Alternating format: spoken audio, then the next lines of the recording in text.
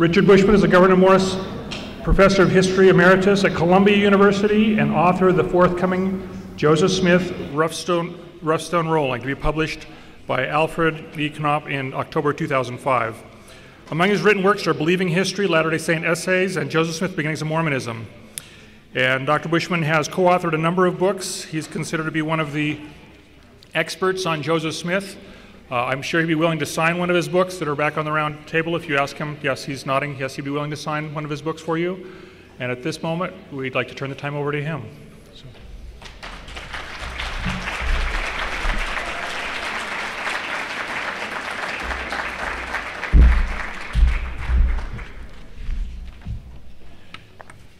Thank you very much. It's a pleasure to be here. This is my first meeting of FAIR though I've been uh, very much aware of the work of this organization for a number of years, and I'm greatly honored that uh, Scott invited me to address you. I've actually been um, leery of one of the key words in the acronym that is apology or apologist. It really is an honorable word with a great history um, and used in its proper sense really means a deeper understanding or a fuller explanation, as in John Henry Cardinal Newman's Apologia Pro Vita Sua, Apology for My Life, or in the book that is considered by many Christians the premier example of a Christian apologetics, uh, C.S. Lewis's uh, Mere Christianity. So it's not necessarily uh, an activity of defense or combat, but one of demonstrating the power or the usefulness of certain ideas or certain ways of life. Unfortunately, when it's been applied to me, as it has been in cer- certain instances, it's used pejoratively in, as someone who takes a position in favor of heedless of the evidence, you know, in the sense of being a, a biased reporter. There actually is a review, the first review I saw of this forthcoming book of mine, in which the author, um, though generally favorable, said at the outset that uh, the book has a veneer of credibility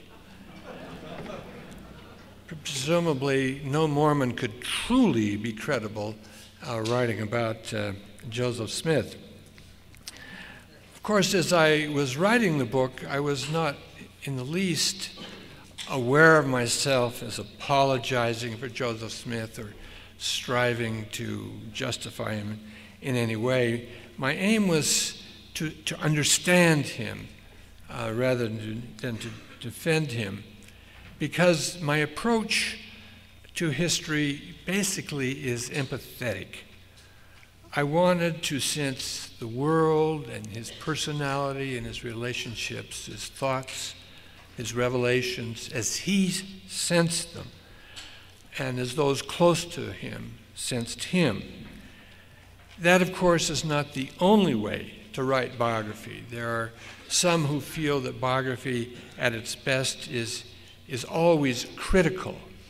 It attempts, attempts to strip away the pretense and find the true or real self uh, under all the falsity that people project uh, in, in order to protect themselves. Uh, the Marxists used to speak of ripping off the masks of certain figures or certain classes because they believed that under the masks were the true power relationships in a society that had uh, to be disclosed and were in danger of being obscured. And Freudians the same way. There was a true and sort of a, a baser self underneath uh, the veneer of civilization. And I recognize that that style of doing biography of doing or doing history in general has its merits. There are pretenses. But I think also that if you rip off all the masks, there is nothing left. What we have is a series of masks. This is who we are. This is what it means to create a personality, a, a set of presentations of the self by which we form our relationships to the world. And in my opinion, the task of a biographer is to understand those presentations of the self, what constitutes them, and how do they work. And so my aim has always been to be basically empathetic and uh, the, the approach to Joseph Smith is no different than would be my approach to Jonathan Edwards or Charles Finney or Abraham Lincoln or whoever. Uh, to me, the, the most interesting reality is the person created by the biographical subject, him or herself, and those immediately around him who, who knew that person best. So, what I wish to do today is to address portions of Joseph Smith's life that have been traditionally difficult to understand and try to explain how I would approach them in this empathetic manner.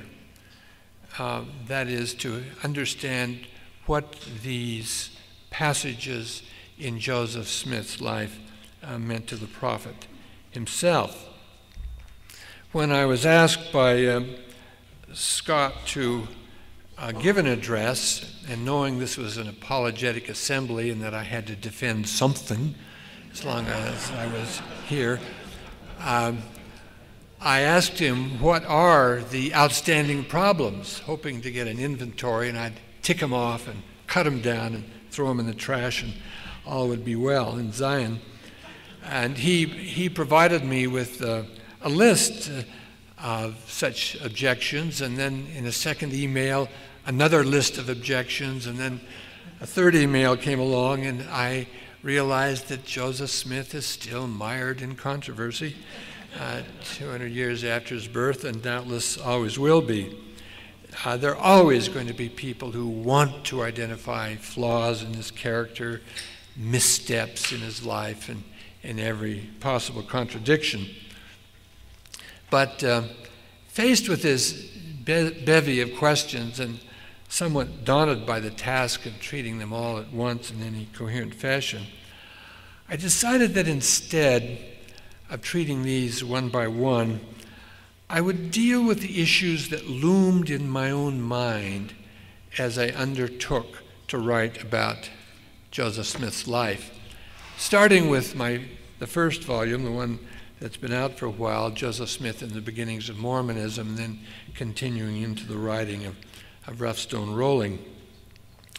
And uh, I, I tried to re- recall what were the hazards that I foresaw, uh, where I thought it was going to be difficult to understand what in the world the prophet thought he was doing. And I have five of these. I'm only going to talk about three. Uh, but I'll tell you the five that came into my mind. The first was treasure seeking, the Peepstone Joe. The second was his psychology, that currently has depicted him as some kind of a pathological character. The second was women. The third was women, which um, may not be exactly an issue in Mormon uh, polemics these days. I'm not precisely sure. But of course, in the historical world at large, women are an issue in every subject. And Joseph does not necessarily come out as a proto feminist in 1844, and so I thought I had to deal with that.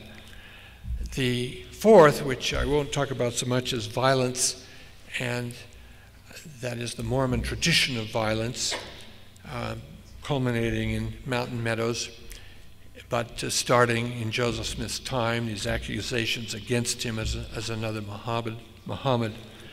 And the fourth is that collection, the fifth, I can't keep count here, the fifth um, is that collection of reactions and initiatives in Nauvoo that can be grouped roughly under the label megalomania. the sense that Joseph sort of uh, went berserk in Nauvoo, giddy with his own power, and uh, overstepped all sorts of bounds. Uh, those two I'm not going to deal with in the talk, though uh, we can discuss them in the question period if you, if you choose. Well, let me begin with treasure seeking. It's a strange one to start with, but I think it has an interesting moral to it. I'm not sure that treasure seeking is, in anyone's mind nowadays, much of a problem when it comes to understanding uh, Joseph Smith, at least not among um, anyone who has read the recent historiography. But uh, when I began work uh, on Joseph Smith and the beginnings of Mormonism in the late 60s and early 70s, it was the premier problem of Joseph Smith, couched uh, perhaps most acutely by Jan Shipps in her essay, The Prophet Puzzle, in which Joseph Smith seemed to have this bifurcated history and personality. On one side, he's the young visionary, and on the other side, he's the young money digger. And the two seem to be totally incompatible. One is superstitious and kind of greedy, the other is exalted and religious and, and pious in every way. And it was interesting at that time because there were a whole set of sources lined up on each side of this divide. Um, on the money digging side, the two primary bodies of evidence were the affidavits that Philastus Hurlbut collected in Palmyra when he was on his mission to discredit Joseph Smith, and the neighbors happily provided him evidence, uh, many of the accusations having to do with treasure seeking. And the second being the 1826 court trial, which was recorded in documents whose provenance was questionable, and so no one uh, was able to say for sure whether this trial occurred. But at, in these transcripts of events in court, Joseph Smith uh, speaks of money digging, even his friends speak of him as a treasure seeker, and so on. Well, that set of documents were, uh, were available to Fawn Brodie and everyone else who wanted to build up the, the treasure seeking side. But among faithful Mormons, among which I counted myself, that these documents were not just judged and evaluated like every historical document was, has to be, they were totally discredited. They, they were just said to have no validity at all. The, the very occurrence of the 1826 trial was in doubt, and everything was thought to be a pure fabrication. And the Hurlbut affidavits were considered to be so biased, probably almost totally the creation of Hurlbut himself, that they simply weren't taken into account. You didn't even deal with them in the faithful history of Joseph Smith. Of course, on the other side, the, on the visionary side, you have uh, countless accounts, beginning with Joseph Smith's own records, and Lucy Mack Smith's, and Emma, and Oliver Cowdery, and Martin Harris, and many others who talked at length about Joseph uh, Joseph's um, visions. So we had sort of these two parallel histories, scarcely uh, touching one another. And my question as a historian was how am I going to deal with this? Am I really going to discredit all these documents or not? I felt like I had to deal with them in some way as evidence. Well, a couple of things happened as I began to work on this earlier book. Uh, one, it became evident that the faithful sources, Martin Harris and Lucy Mack Smith and others, also spoke of money digging and treasure seeking. So it became uh, almost impossible to deny those activities. Um, the Josiah Stowell search for treasure had always been accepted, but now it seemed apparent there were much more money digging in the Smiths' lives than had been thought of before. The second was uh, change in the evidence was the 1826 trial was validated by this uh, little scrap of evidence that uh, Wesley Walters discovered, um, seeming to prove that the event had taken place. And I remember, as just in the middle of writing that book, all of this evidence was being debated, and I had to write in such a way that I left room for those who still doubted the 1826 trial to sort of have their say and their voice, and at the same time uh, to bring it within the latter, the, the Latter day Saint canon of acceptable evidence. So, um, altogether, it, my task was to conceive, not to deny money digging, but to conceive of what part it played in Joseph Smith's early life. I couldn't escape that fact. Well, my um, encounter with Joseph's treasure seeking came in two stages corresponding to these two books, uh, published uh, 20 years apart. Um, in B- Joseph Smith and the Beginnings of Mormonism, I was, uh, my strategy was essentially to neutralize the charge. Because as I was writing, the scholarship about treasure seeking and magic in general was proliferating in Anglo American historiography. So it became evident that these practices were commonplace in the 17th century in all levels of society, in the 18th and 19th century among uh, common people and the lower classes. So that once you spread out this process, so that Joseph Smith is not a peculiarly weird version of treasure seeking, but that it was uh, widely practiced, suddenly it was no longer a blot on his character, his family's character. It was no more scandalous than, say, gambling, playing poker today. A little bit discredited and slightly morally disreputable, but not really evil. And when it was found that all sorts of treasure seekers were also serious Christians, why not the Smiths too? So instead of being a puzzle or a contradiction, it was just one aspect of Smith family culture and not really anything to be worried about. Well, that's how far I got in Joseph Smith and the beginnings of Mormonism. In Rough Stone Rolling, I go one step further in a slightly more speculative vein but one I think worth seriously considering. And that is to see magic and money digging as providential, that is, as useful in the training of a prophet. And why that uh, struck me uh, more forcibly uh, this go around was that I came to see what a huge leap of faith trans- the translation commandment required. It was a totally unheard of, unprecedented charge from an angel to tell a young man to translate an ancient record without any learning, strictly by the use of stone, the crystals or the found uh, seer stone.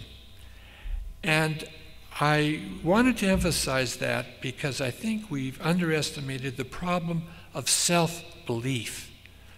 Why should Joseph believe in his own revelations? We think of them as overpowering, irresistible, but we have to remember that this was a society that was filled with visionaries, filled with revelations, filled with angels coming to people, most of which were discredited why should this young man believe that his revelations were truly of God rather than a figment of his own imagination? You do remember that when Joseph Smith went to the hill the first time and could not get the plates out of the stone box For a moment, there flashed across his mind, according to Oliver Cowdery, the thought that maybe it was not an actual vision, but only a dream. In other words, his mind had concocted it rather than coming from God. So something has to prepare Joseph Smith to believe himself, and perhaps even more important, for his immediate family to believe in him too.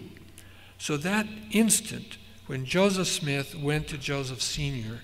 and said, uh, explained that he had seen an angel visiting him in his room, um, his father's immediate reaction was, It's from God, follow the angel's advice. If Joseph Sr. had not reacted that way, uh, who knows what seeds of doubt would have been planted in Joseph's mind? Well, the money digging experience prepared him for that because of the lore of the guardians of treasure. Let us say that Joseph Sr. sees it as a guardian angel over a golden hoard and interprets it that way. Is that wrong? What I'm saying is that may have helped him to instantaneously react and say, It's good, follow it. Furthermore, what was to prepare Joseph better to look into a stone than to have looked into a stone to find lost objects and therefore prepared to look into a stone to find lost words. So, as I say, it's a speculative, speculative leap, but considering all of the conditions of Joseph Smith's life at that time, I can see uh, the money digging as possibly having played a part in preparing Joseph Smith for the, un- the unique role he was to act out in, in history. Uh, I would think the problems of his self identity were immense, figuring out what in the world am I doing, having to translate when I'm totally unprepared and I don't know of anyone before me who's been asked to do such a thing.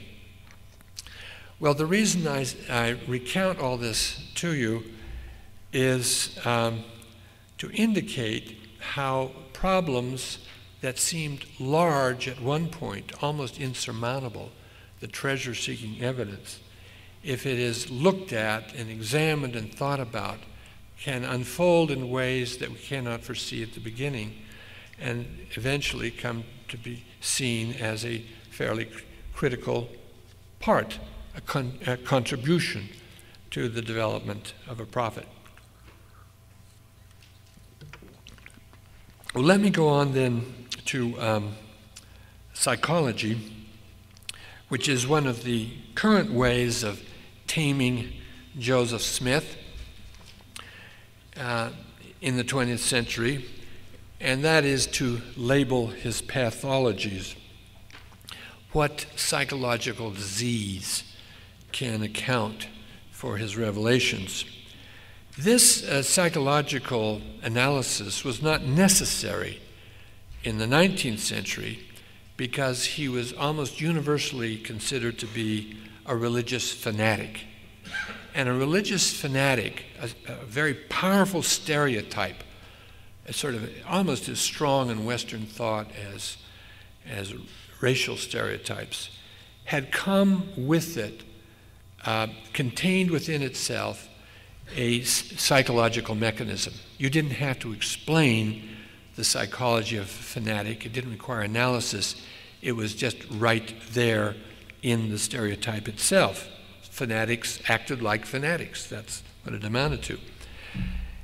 We, the first breakout from that view of Joseph was I. Woodbridge Riley's Yale dissertation, which was published as a book uh, in 1902 at a moment when all of American social thinking was changing from moral analysis to social or psychological analysis. The moral analysis is what is good and what is evil, and why are people good and why are people evil. The psychological analysis is more like sick and well.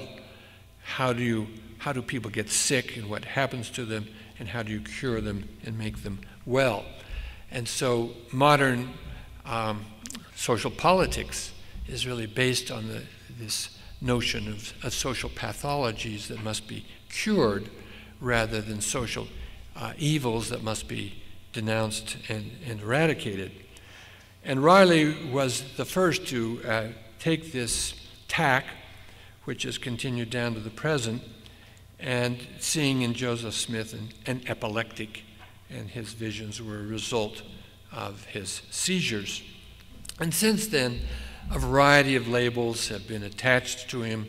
Fawn Brodie thought he fit Phyllis Greenacre's imposter type with his uh, weak personality that uh, a, a, feeble, kind of um, cracked up personality that gained strength when, when it was in its imposter roles. Robert Anderson's narcissistic personality, William Morain's buried trauma uh, complex, beginning with the leg operation when Joseph is so young, devastating the young boy, Morain postulates. Uh, and then being suppressed, where the memory and pain of this trauma rumbles around in his subconscious and shapes everything he does thereafter. Alvin's death adding to these traumas. And Dan Vogel's notion of a dysfunctional family, with Lucy as a depressed mother, Joseph Sr. as an alcoholic, the family's in poverty, it's divided in religious, religion, and so forth. These um, psychological approaches to Joseph uh, have merits. They draw attention to parts of Joseph's experience that you might not see, otherwise see. That's the whole point of a, an interpretation or as a theory, is to bring, turn facts into evidence. You make them work to sustain some thought, and therefore those facts leap out at you. You see things that were otherwise invisible. And um, so they, they are helpful, but I don't think that any of them succeed very well in demonstrating that Joseph Smith was a damaged pers- person, that his life was twisted by his youthful experiences, and th- therefore he became uh, fundamentally pathological which I think is uh, what these authors are really trying to do. And I'll tell you why I don't believe in these particular diagnoses of Joseph Smith's uh, psyche. Let me take the one which I believe has the most merit to it, or at least raises a significant issue and that is the impact of the leg operation. No matter how you cut it, it must have been a horrible experience. Uh, just another aspect of my genius, things like that come out all the time. it must have been uh, a horrible moment for him, for his family, and then to be, in effect, a cripple, an invalid for three years in those active years, um, hobbling around on a crutch, I kept thinking of my grandson Max, who's in the back of the room, and how he was from ages 7 to 10, and how it had been for Joseph Smith to have been uh, hobbling around all that time. And I think um, work does need to be done on estimating the impact of that experience. It's just too significant. But I don't think that Morain's um, analysis works.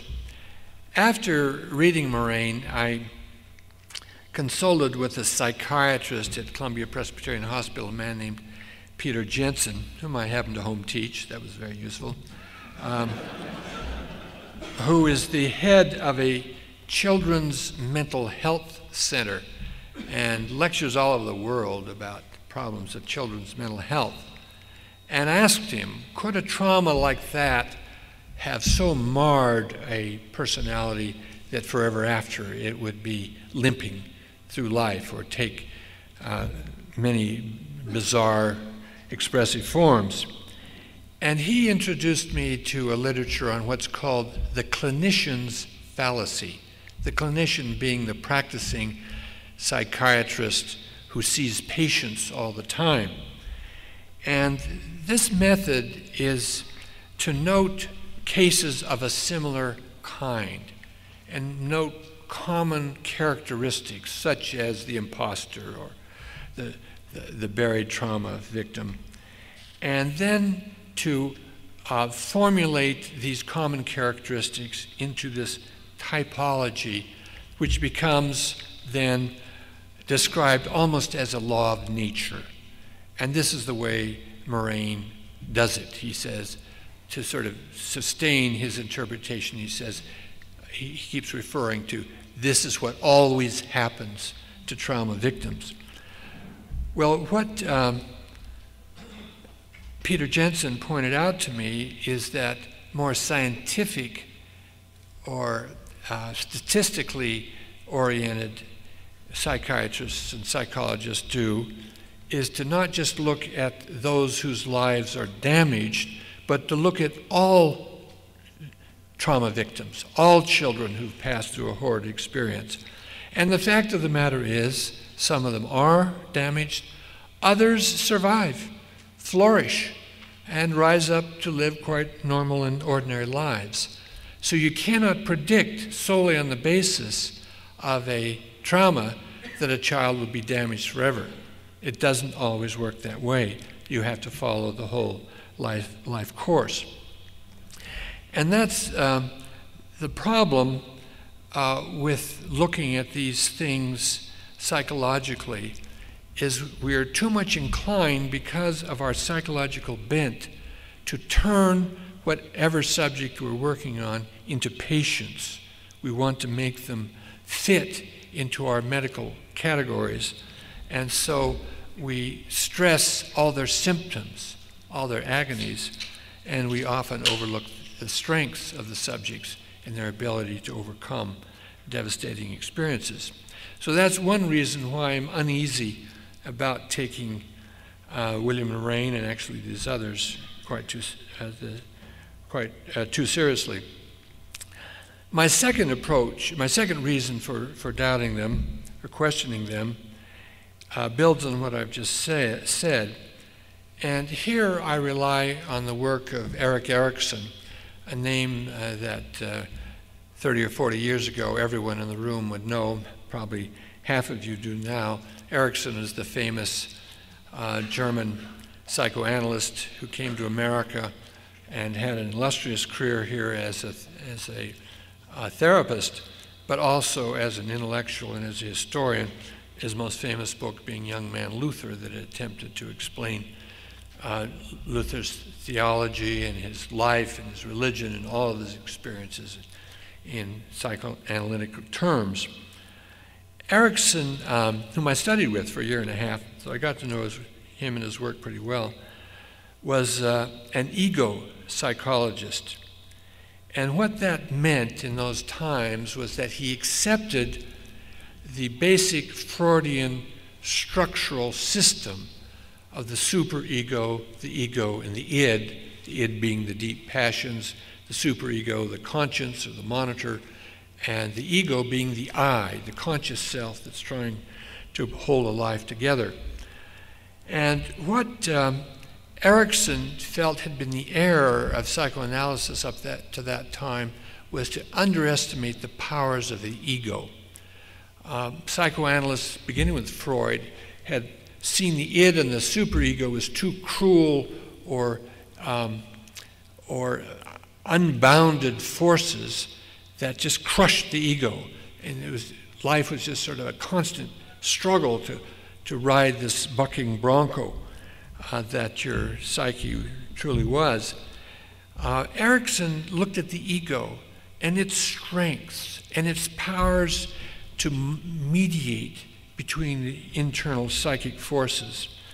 And he came to admire the courage and the ingenuity and the strength of people in managing all the th- things that their culture and their upbringing had thrust upon them and that were incorporated into their personalities.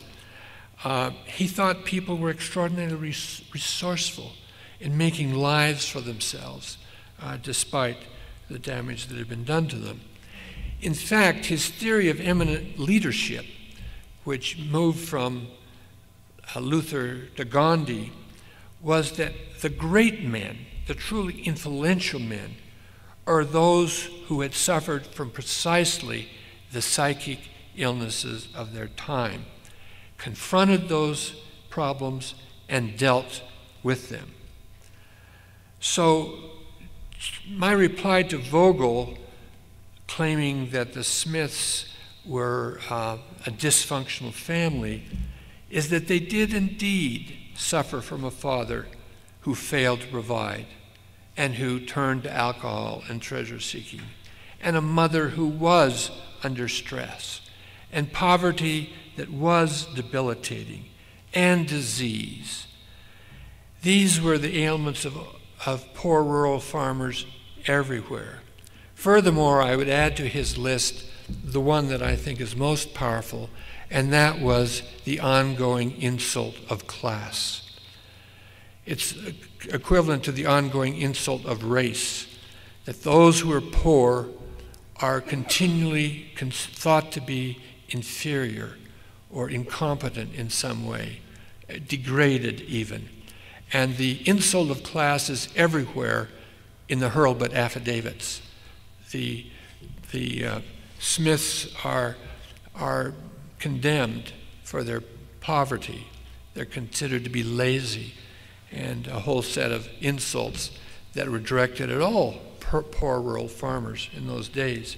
And the Smiths had to live their lives under almost constant condi- conditions of humiliation.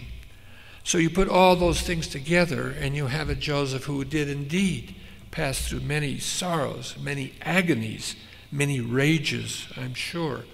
But the very fact that he confronted all of those and dealt with them and rose above them was a source of confidence to those who know them.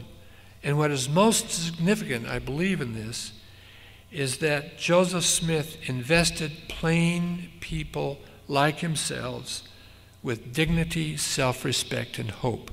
If there was ever a theology that gave hope and the promise of greatness to those who had suffered humiliation through their lives, it was the theology that Joseph Smith presented. So those are my responses to the to the um, psychological. I call them attacks on Joseph because I sense they are just that. They're, they are attempts not just to understand him, but to discredit him. Which brings me then to, um, I guess I'm doing all right on time, to the third question, and that is the problem of women. The problem is that women were not officially involved in the church for the first decade. They were certainly important, as women always are. Emma was probably the most influential person in Joseph Smith's life. I had the feeling he talked about almost everything with her. Polygamy was probably the exception, but my guess is he talked to her about that at first, uh, early on. Uh, too. But she was the one who went to the hill with him. She helped translate. She confirmed his faith with her belief. She was a believer in Joseph's revelations. And she consoled him. And I don't want to underestimate that. She was called, it was almost an official call to console him. Console, cons, console and consolation are two of the largest words in Joseph Smith's vocabulary. He needed consoling. He was a melancholy person who needed to be, to be upheld. And Emma did all that for him. So Joseph never demeaned her or any women that I know about. Emma was told to expand, expound and exhort, to write, and learn. And um, so she's a woman who is, is highly honored. But neither she nor the other women had any official position in the church. No priesthood, no missionary service, no preaching, no administrative authority. Some of them may have been present at councils and conferences, but they were not a regular part of the council organization. Revelations are addressed to elders and high priests, but not to women as a body. A few women are mentioned in the scripture, Emma, of course, being one, Vienna Jacques, another. They're present, receiving spiritual gifts, they're supporting their husband, they're engaged. Elizabeth Haven Barlow, whose letters I've just been reading, a woman who just wrote home to Connecticut just after the, uh, or I guess it was Massachusetts, just after the Missouri persecutions. Her mind is right out there. It's like Joseph's mind always is aware of where the saints are, what's happening to them, what's happening to the leaders of the church. She had great scope. She wasn't just confined in a domestic sphere. She's thinking of where the leaders are, how are they getting along, and so on. So these women are involved and engaged, but they're not officially engaged and involved. Well, all of that changes rather suddenly in 1842 and I don't know exactly why. The women's movement is in gestation. Women are being, getting more and more active in reform. They're, they're preaching. They're finding uh, public roles for themselves. But these, these will really burst after the Seneca Falls Con- Convention in 1848, slightly after Joseph Smith's time. But something in 1848, perhaps it's just sheer revelation suddenly brings women right into the center, where before they'd been on the margins, they suddenly become central. Just think in that one uh, spring or in, that one year after 1843, the Relief Society is organized, not just an auxiliary to the church, it's not the Sunday school, it's not the mutual primary, it is an, a branch of the priesthood. Women aren't given the priesthood, but they're a, they're a branch of the priesthood. And Emma is given an administrative role as president, not on a parity with Joseph Smith, but sort of as a match uh, to Joseph Smith's leadership of the priesthood. This is the, uh, these are the years when the doctrine of eternal marriage and sealing comes out, and the partnership of, of men and women is made essential to exaltation. Women, therefore, and the, the relationship of men and women uh, becomes theologically essential. It's not just a nice thing like being kind to your neighbors, that you have, you're good to your wife. You have to be united with the wife to um, make, for the men to make their way uh, to the peaks of eternal hope. And then finally, uh, women are given the endowment, made part of the anointed council in 1843 going beyond the Freemasons and including women in the highest ordinances. Women in all sorts of cultures were excluded from the Holy of Holies. Only men were brought there. But women are brought in uh, to, to, these highest realms of Mormon uh, ritual life.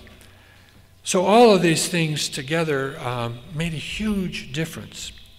I would add, however, and importantly, that we must not pretend that, all, that these changes meet all the expectations of modern feminists.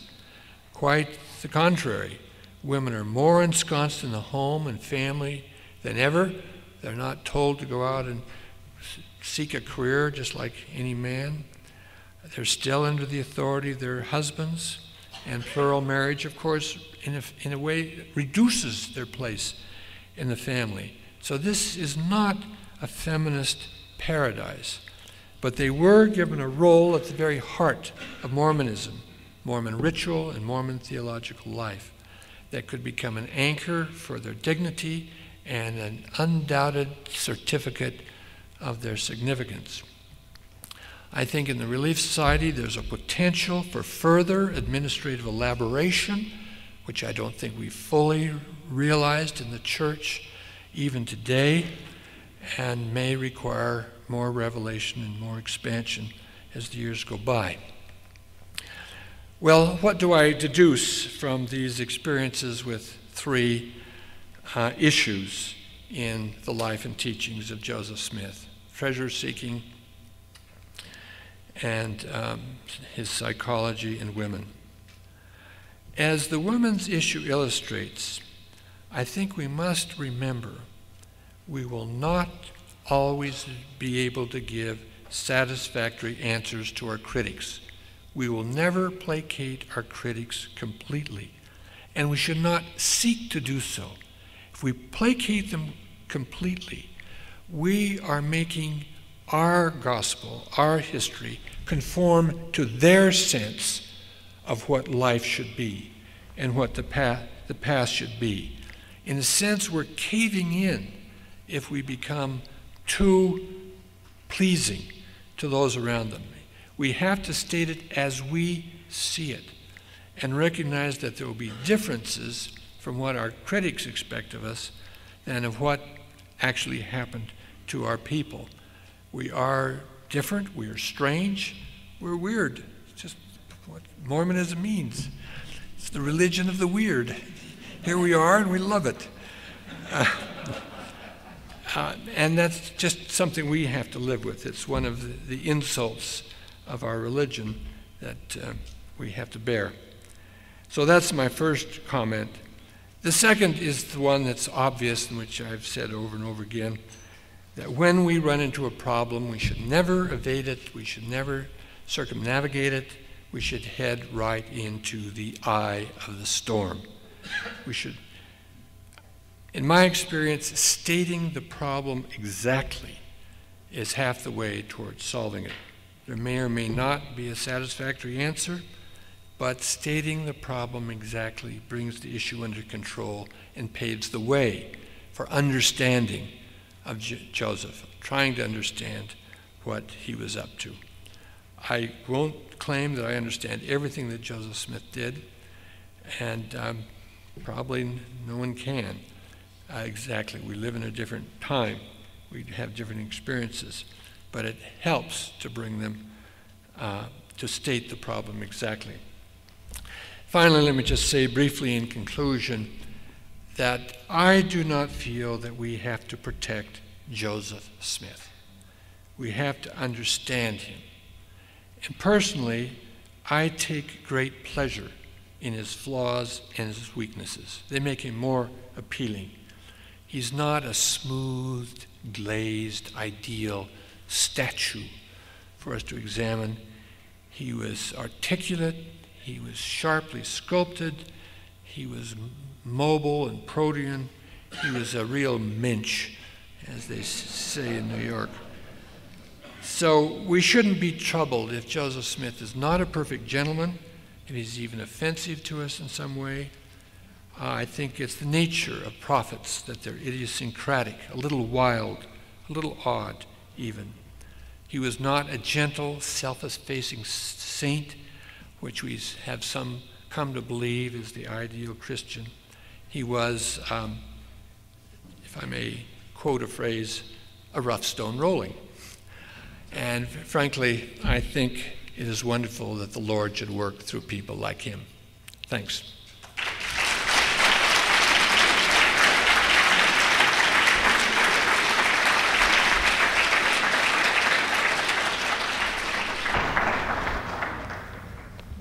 Big stack of questions.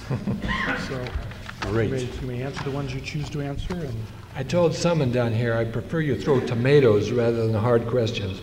tough ones. How can come to ex- come to morally accept or explain Joseph's proposing to and being sealed to married women per, as per Todd Compton? It's a fact. He was married to 10 women who were married to someone else. I don't know of anyone who has any answer or explanation of that that is founded in evidence. We have to create um, explanations for ourselves. Um, probably the best one is that he was very much concerned with bonding. He wanted to unite people. I concur heartily in everything Blake said earlier about blending people, unifying them in a bond of love is the essence of the gospel of Christ and of the Mormon gospel. That by working together, we can do more than we can alone. And Joseph Smith was obsessed with sealing, sealing everybody. And this ex- happened in his life to ex- sealing um, himself to, to married women. It was not a practice that was carried on, except as we know in various compensatory ways after husbands died after his death. But he thought it was right. And I don't think there's going to be a.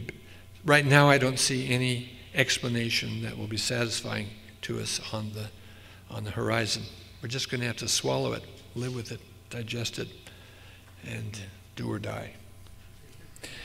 In the months before Oliver's excommunication, what was his relationship with Joseph like? Testy. Joseph um, was beginning to feel uneasy about Oliver and his.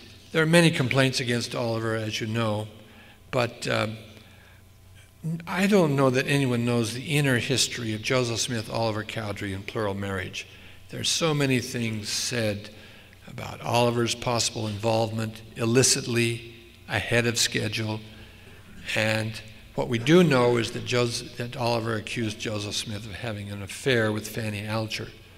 And Joseph's chief concern at that time was to get Oliver to admit Joseph had never said he was himself committing adultery. Joseph was married to her. It was of immense importance to him not to be thought of as an adulterer.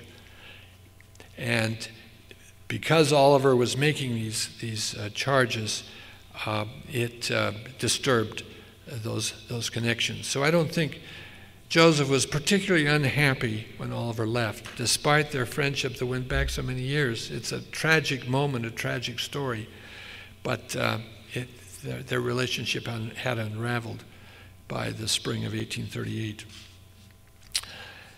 Has your research validated the concept the Masonic required that, that Joseph be married prior to receiving Moroni. And that Moroni required that, that Joseph be married prior to, prior to receiving the plates.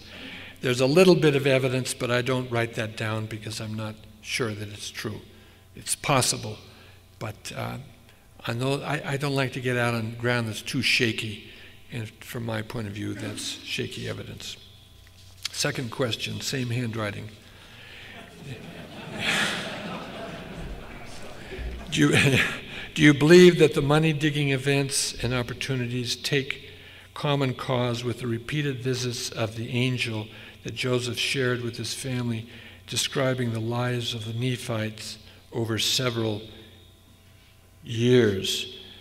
Describing the Nephites' lives over several years, is what the grammar said, or do you mean Joseph describing for several years the lives of the Nephites? I, hmm? I think yeah.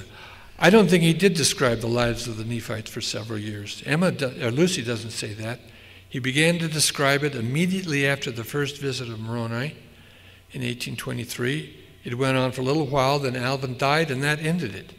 So it's um, um, that doesn't go on for long. I'm not quite sure I'm following. Take, take common cause with the repeated visits of the angel. I'll have to talk to you about that afterwards.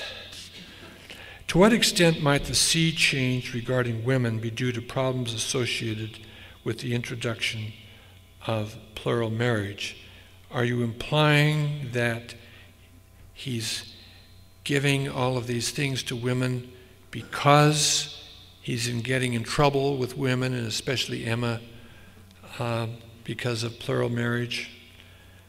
I don't think so. I tried to argue that making Emma president of the Relief Society was sort of a sop to Emma.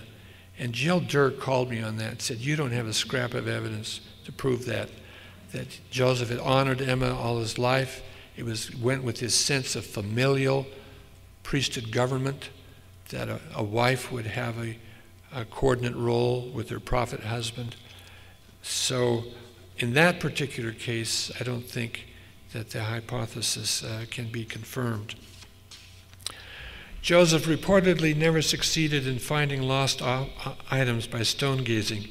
Would this failure have been a pre- preparation for successful translation? Someone was telling me um, last night that they'd got the question if Joseph Smith had a seer stone and he could find lost treasure, why wasn't he rich? And it is a fact that he never did succeed in finding any treasure. I have a little argument ongoing uh, in publications with Dan Vogel about Joseph's in, involvement in, stone, in treasure seeking. I don't see him ever avidly trying to be a money digger.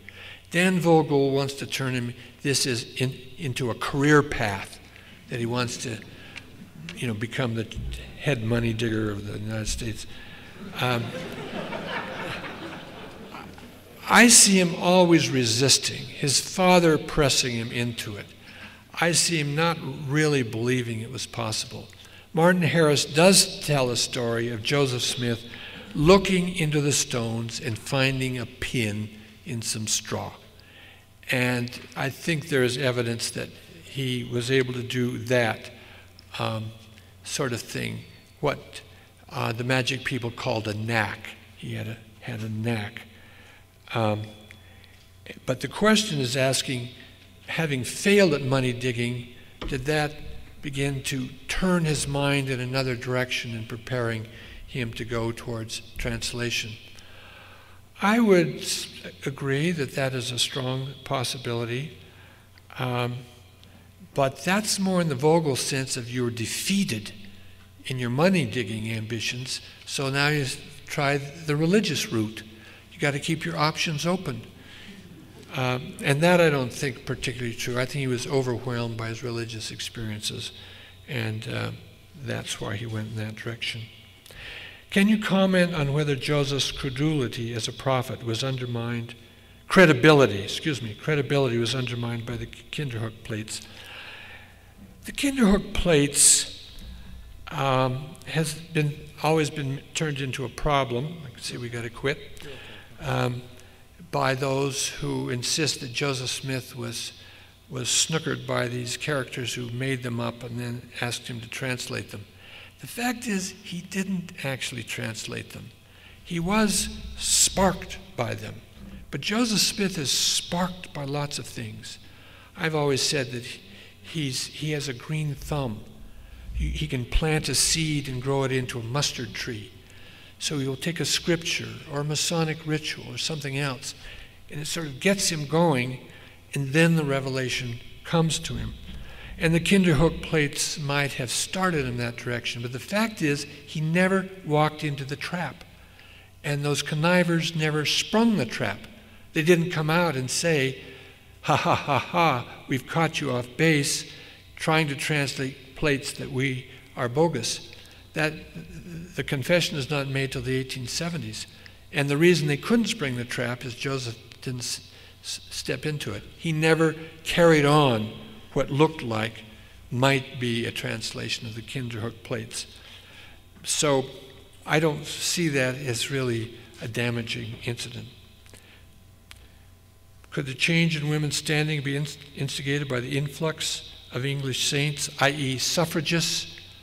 I don't think there are many English suffragists in the 1830s, 40s, and certainly not among the people who joined the Latter day Saint Church. It's an upper middle class phenomenon, not a working class phenomenon, and we were getting the working class. How much did Joseph Sr.'s drinking influence the prophet? Not much directly. It was a source of great shame to Joseph Sr. And this one of the most poignant sentences in all of the record is Joseph Sr.'s blessing to Hyrum, expressing appreciation that his son Hyrum did not laugh him to scorn when he was out of the way with drink. And in, in my view, this sense of a father who was damaged, who had really failed as a father, had a powerful influence on Joseph Smith's psychology and was one of the great rewards of having the revelations of the church come to be able to provide a church that his father would accept. To what extent could the Wesley Walters 1826 trial, document be a forgery? Is it universally conceded among LDS historians as being authentic? I don't think LDS historians think of it as a pure forgery. But it has now moved into the category of all historical documents, that is, it has to be evaluated. It has its biases. It comes to light, what, 60 years after the event, so we have to think, worry about tampering. But I don't think it's inauthentic in the sense of being a pure fabrication.